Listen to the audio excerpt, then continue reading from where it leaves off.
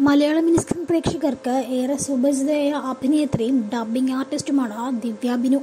Short ഫിലിമുകളിലും സീരിയലുകളിലും ഏറെ സജീവ സാന്നിധ്യമാണ് നടി ദിവ്യ.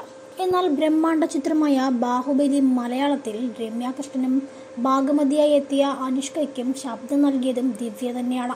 നിരവധി സീരിയലുകളിലൂടെ പ്രേക്ഷകർക്ക് മുന്നിലേക്ക് എത്തിയ താരം നിരവധി നടിമാർക്കും ശബ്ദം നൽകിയിട്ടുണ്ട്.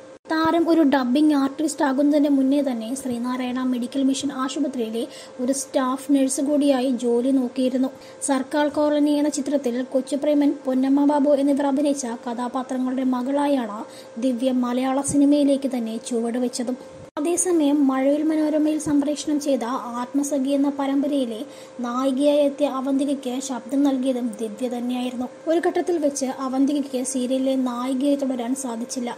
എന്നാൽ മറ്റൊരു നടിയെ കണ്ടെത്താനുള്ള ബുദ്ധിമുട്ട് ആയതിനെ തുടർന്ന് ക്ലൈമാക്സിലേക്ക് അണിയറ പ്രവർത്തകർ ആ സ്ഥാനത്തേക്ക് ദിവ്യയാണ് കൊണ്ടെത്തിച്ചത്. ദിവ്യയുടെ ശബ്ദത്തെ പ്രേക്ഷകർ ഏറെ സ്വീകരിച്ചിരുന്നുവെങ്കിലും നന്ദിത എന്ന കഥാപാത്രത്തെ പ്രേക്ഷകർക്ക് ഉൾക്കൊള്ളാനുമായില്ല. ഇതേ തുടർന്ന് സോഷ്യൽ മീഡിയയിലെല്ലാം തന്നെ കുറെ നെഗറ്റീവ് റിപ്പോർട്ടുകൾ താരത്തെ തേടി എത്തുകയും ചെയ്തു.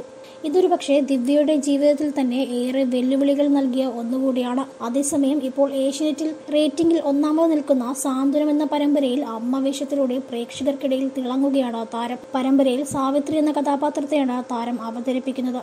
താരത്തിന്റെ കഥാപാത്രത്തെ പ്രേക്ഷകർ ഇതിനോടകം തന്നെ ഏറ്റെടുക്കുകയും ചെയ്തിട്ടുണ്ട്.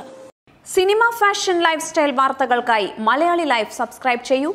ലേറ്റസ്റ്റ് അപ്ഡേറ്റ്സിനായി ബെൽ ബട്ടണും അമർത്തുക